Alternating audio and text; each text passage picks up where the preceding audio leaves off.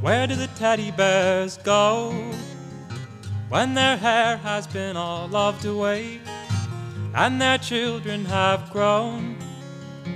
Could it be that there is still a place in your heart for that furry face?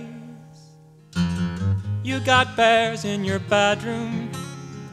There's so many they can't all have names, but they do, and you love them. I won't tell you that they all look the same.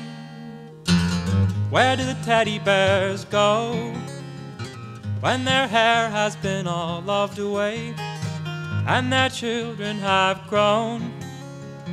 Could it be that there is still a place in your heart for that furry face? I've heard that bears like to party. They sneak out late at night until dawn.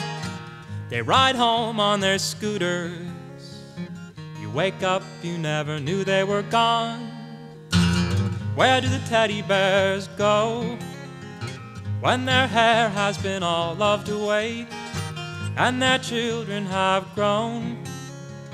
Could it be that there is still a place in your heart for that furry face?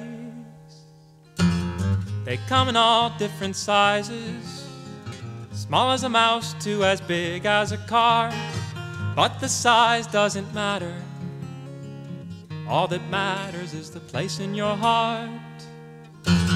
Where do the teddy bears go when their hair has been all loved away and their children have grown? Could it be that there is still a place in your heart for that furry face?